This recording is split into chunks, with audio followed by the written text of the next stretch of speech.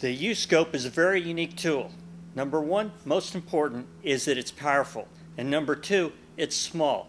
You combine that together and what you have is a very convenient tool to use. And so when you're in those situations where time is beating down on you and you have to get something done and you're thinking, oh, am I going to take the time to get out the lab scope and look at this signal or not? Well, if you got the lab scope with you and ready to go, you're going to look at it and you're going to get that much needed information that you just can't get in any other way. Conveniently, quickly. So let me show you how fast it is. Okay, car's running. I'm going to pull out the uScope out of my Dollar Tree dollar pouch here. First thing I'll do is take the uScope, put it in my pocket, get out the test leads that I'm going to use, hook it to my uScope, and hook to the car. Ground, my injector.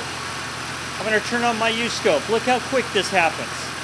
It boots up, it's ready to go. Now on the uScope, if you press the A button, hold it down, you'll go to our value screen. Here I can quickly set the volts and time per division and get a good injector signal. Now we can take it to another step. I'm going to go ahead and fine tune it now. I'm going to hit the OK button to bring up the menu and I'm going to go to TR which stands for trigger. Hit my left right arrow keys to go to normal I'm going to go to trigger level. I'm going to bring my trigger level down by hitting my left arrow key. I'm going to trigger slope and I'm going to change it to positive slope. One more adjustment is I'm going to set my trigger horizontal position to the left. And now look at my injector signal.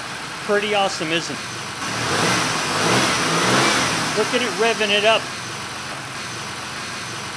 Next step is I'm going to save this preset that I just created by going to SD. I'm going to select Save to User File and I'm going to hold down the OK key. Up on the top right you can see that it's going to file 004.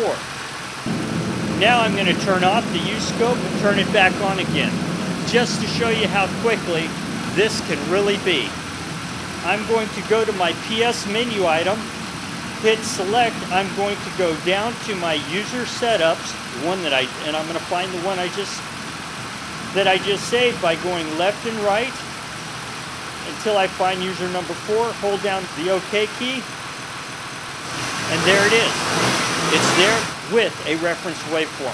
That's quick and that's powerful.